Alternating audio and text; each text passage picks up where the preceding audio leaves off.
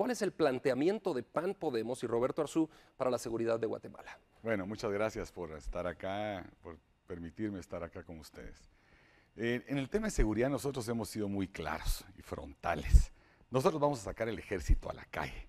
Le vamos a devolver la paz y la seguridad a ustedes, a la familia guatemalteca. No dando más esto de que nos están quitando la paz. Vamos a ir detrás a buscar a estos personajes de los extorsionistas, mareros, narcotraficantes, asesinos, violadores, hasta debajo de la última piedra. Y no nos vamos a cansar de decirlo. Nosotros cuando los encontremos les vamos a dar una sola oportunidad. Una, no hay otra. Y es literal. O se rinden o ahí se mueren. Vamos a devolverle la paz y la seguridad a la familia guatemalteca y vamos a sacar el ejército a la calle.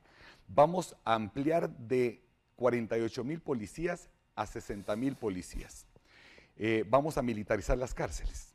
Vamos a poner un régimen militar adentro de las cárceles. Todos los eh, presos que estén en eh, prisión preventiva pues estarán con un trato diferente que se les estará dando lo que es la presunción de inocencia, obviamente. Pero los que ya están condenados no la van a pasar bien.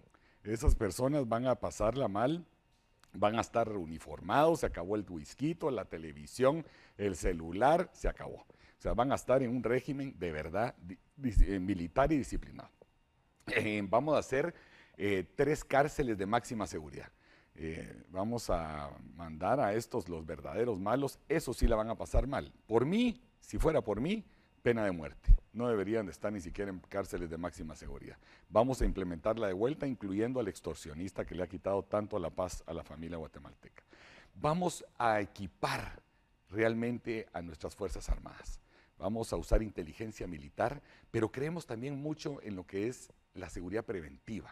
Vamos a una alianza con las telefonías, que hemos hablado ya con ellos, en donde vamos a darles a cambio de que puedan poner sus microceldas, ellos en las áreas públicas sin costo, que nos pongan cámaras de seguridad con iluminación en todas las cuadras del país.